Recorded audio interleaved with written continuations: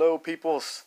I'm going to try out this new type of movement with these videos, these type of documentation of just, you know, having some B-roll, B-roll being just some footage, and I'll, I'll put a reflection over it.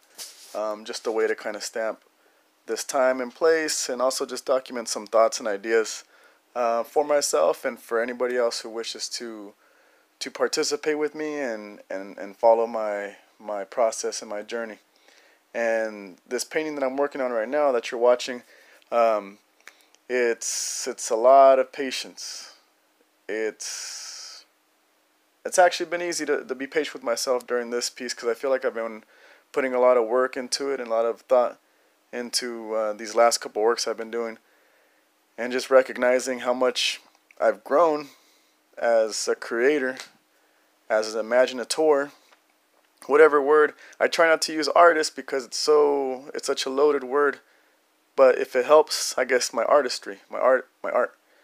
Um, but I don't personally like to use it, uh, just for for the sake of my own little argument for myself that I don't believe I'm an artist yet. I know I can be there, but I think that's a whole different level and a whole different flow in my opinion, and I don't feel like I'm there yet.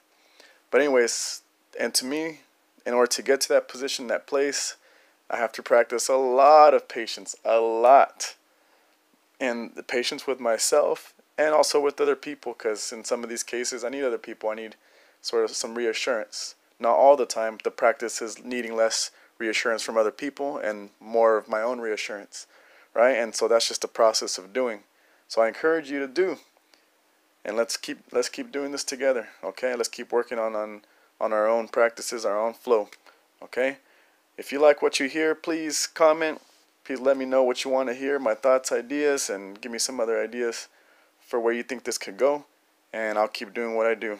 All right peoples we're on our way. Thank you